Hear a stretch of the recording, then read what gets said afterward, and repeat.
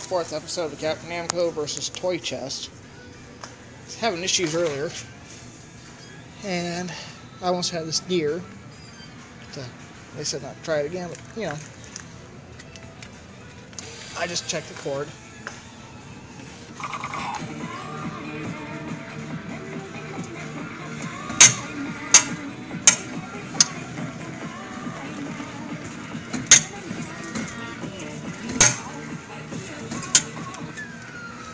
Got you.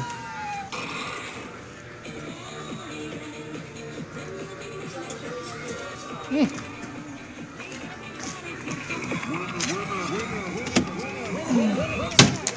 About time.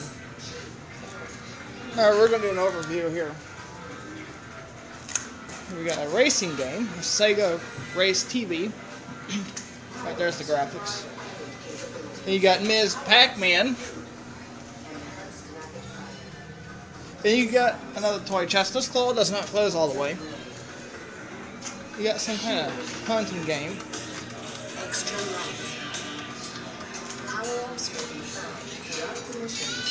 Hunting game.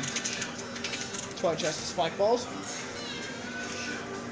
Beachhead 2000. Never heard of that game. You got UFO catcher.